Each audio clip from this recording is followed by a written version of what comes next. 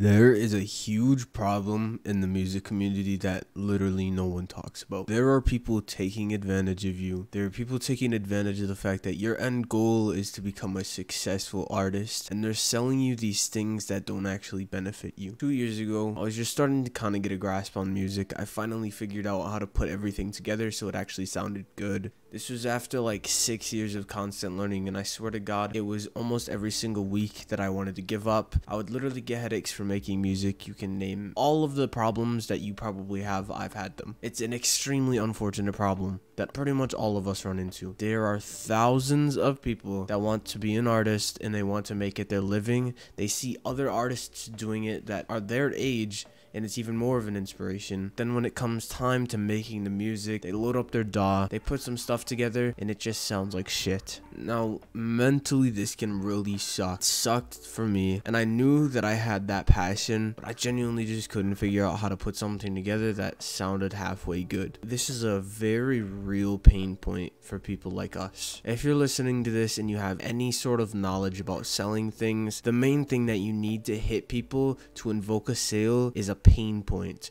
When someone hurts about a specific thing, they are much more likely to buy something. There are many people who take advantage of this for your money in the music community. This isn't a direct hate video to any of these people who do this, but I'm sure you know what I'm talking about. It's the whole selling presets thing. Presets will make you sound good if they're designed well, and I'm not taking away from this, but what people don't understand is that when you don't have the adequate knowledge to tweak the presets, you are not able to modify it. So it basically is just a huge gamble with your money. Not only this, if it does sound good or it doesn't sound good, you haven't learned anything from it. It's not teaching you anything. Now, yeah, you can copy the effects or just try to understand them, but when you don't know what you're doing, all pretty pointless. Now, me personally, I have seen this as a problem, so I've taken the initiative to make my music masterclass for people who are stuck in this trap. Dude, it's literally 30% off right now for people who are interested in taking their music like actually serious. If people can say I'm a salesman and I just want to steal people's money and that I'm a hypocrite, but it's really not the case.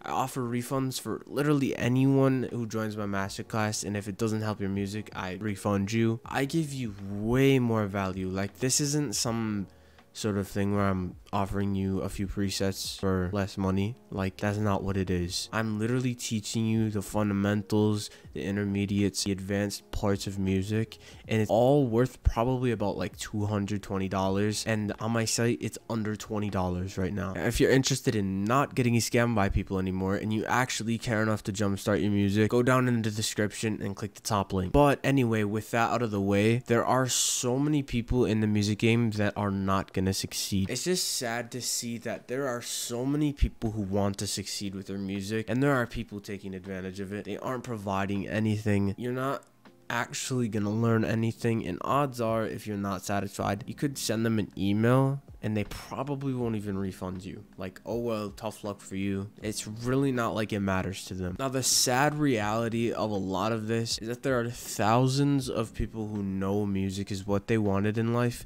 but gave up because it was too hard. It is not easy, and odds are, if you don't take the right path, this might be you. It takes incredible patience to make it to the point where your music is good, and I just, from even me, I know from personal experience, there were many times where I was literally so close to just quitting and never doing music again. But I'm not really sure why I pushed through it. It's just like I have a crazy passion for it. But for anyone listening to this, if you feel like you have any doubt whatsoever because you suck, I'm telling you, I can help you a lot but the sad reality is you probably will give up if you're in that position. Now, anyway, back to the topic. I'm not saying vocal preset people are bad. Anyone who sells them depends on the person. I sell presets personally, but it's a shady territory to be in. By all means, don't expect every preset to make you sound good. It just really depends on the person. The whole premise of this video is just to kind of help you be aware and understand that if you are investing your money somewhere, make sure it's going to someone who is trustworthy.